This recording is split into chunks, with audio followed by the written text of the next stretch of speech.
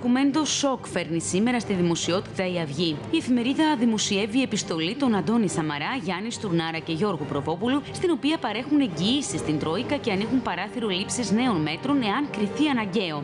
Η επιστολή έχει ημερομηνία 14 Μαΐου 2014, δηλαδή λίγες ημέρες πριν τις εκλογές, και αποδέκτε την Κριστίν Λαγκάρντ, τον Γερούν Ντάισελμπλουμ, τον Σιμ Κάλλας και τον Μάριο Ντράγκι.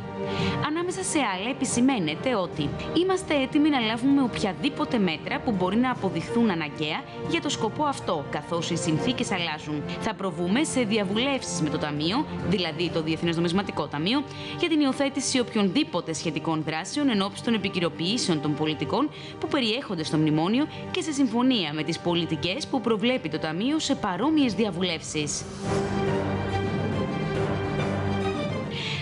Παρά την υπόσχεση για το τέλος των μνημονίων και των μέτρων που επανέλαβαν εχθές στο πρώτο Υπουργικό Συμβούλιο του νέου κυβερνητικού σχήματος, ο Αντώνης Σαμαράς και ο Ευάγγελος Βενιζέλος, στην καθυστερημένη έκθεση του Διεθνές Νομισματικού Ταμείου που δημοσιοποιήθηκε εχθές, γίνεται λόγος για νέα πρόσθετα μέτρα ύψους 7,7 δισεκατομμυρίων ευρώ για να κλείσει το δημοσιονομικό κενό της τετραετίας 2014-2017. Οι δανειστές προβλέπουν χρηματοδοτικό κενό ύψους 12,6 δισεκατομμυρίων από το Μάιο του 2015 και εκτιμούν ότι θα υπάρξει νέο μνημόνιο.